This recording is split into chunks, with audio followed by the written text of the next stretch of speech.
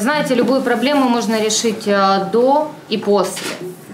А если говорить о проблеме э, рака женских органов, то до мы обсудили, что, конечно же, это а, плановые визиты к врачам, это программы скрининга, то есть это профилактика э, данных заболеваний.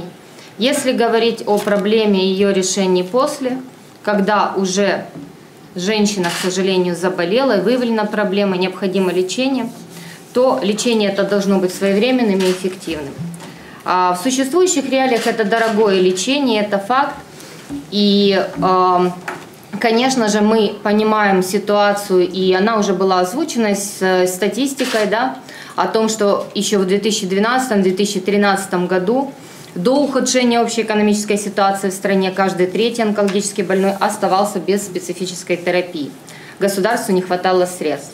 Что будет в 2015-2016 году, не знает никто, но мы уже на себе сейчас ощущаем, те люди, которые живут в этой стране, о том, что подорожали медикаменты, подорожало лечение, зарплаты наши, к сожалению, не выросли до того уровня, до которого выросли цены. Это касается всех сфер нашей жизни, касается это, конечно же, и медицинского обслуживания. Мы решили справиться с этой неопределенностью. Действительно, программа «Женское здоровье» уникальна сама по себе, потому что она охватывает несколько спектров а, ситуации, с которой женщина столкнулась, когда ей поставлен а, рак, диагноз рак женского органа. В первую очередь программа обеспечивает выплату до 600 тысяч гривен в случае диагностирование онкологического заболевания э, женских органов по факту диагностирования, не по факту проведения лечения. То есть на тот момент, когда женщине поставлен этот диагноз, она находится в том шоковом состоянии от самого понимания той болезни, которая у нее есть, но и в то же время от того шока, что нужны необходимые средства на лечение. Компания по факту диагностирования заболевания выплачивает сумму до 600 тысяч гривен.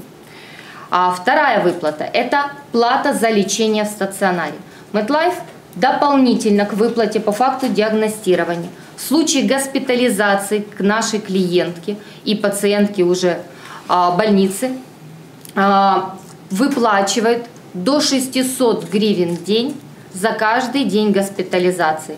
Максимальная выплата у нас за 30 дней. Ну, по статистике а, больше клиенты обычно не находятся в клинике.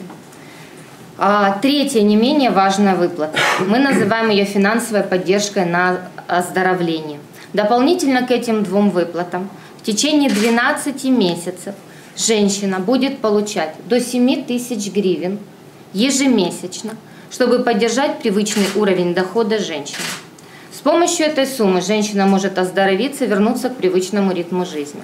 Вернуться, как вы понимаете, не так просто – во-первых, лечение длительное, и многие женщины могут потерять место работы. Сейчас, к сожалению, а, ситуация с защитой прав сотрудников не на том уровне, а, и женщины в этом случае могут быть не защищены.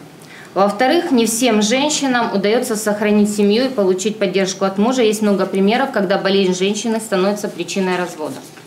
В-третьих, даже если удается сохранить работу и получить поддержку от близких, у женщины после лечения появляются особые потребности. И это не только лекарства.